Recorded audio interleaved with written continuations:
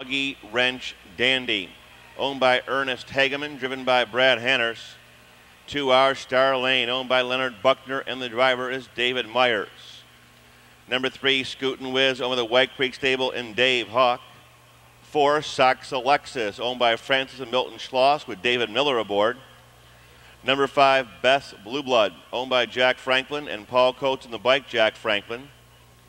Six, Western Dance, owned by Jim Hackett with Mike Wilder. Number seven, DC Falcon, owned by Jeffrey and Kevin Reed and Dean Collins, driven by Dean Collins.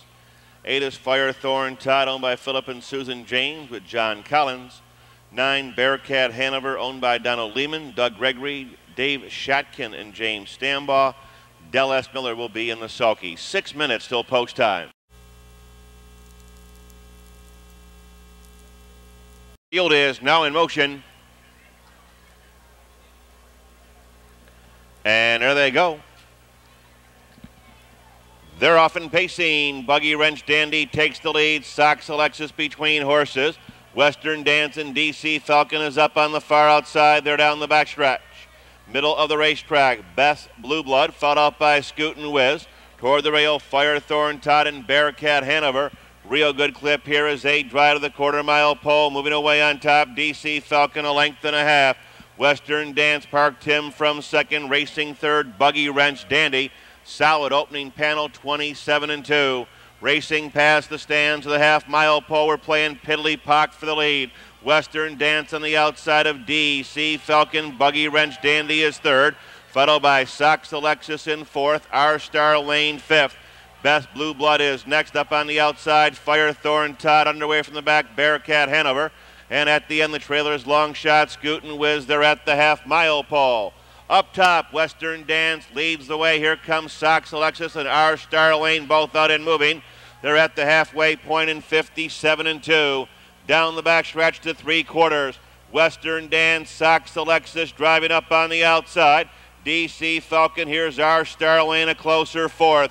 Buggy Wrench Dandy moves in to be fifth. In between horses, Best Blue Blood. Trailers are all heads apart. Scootin' Whiz. Between horses, Firethorn Todd.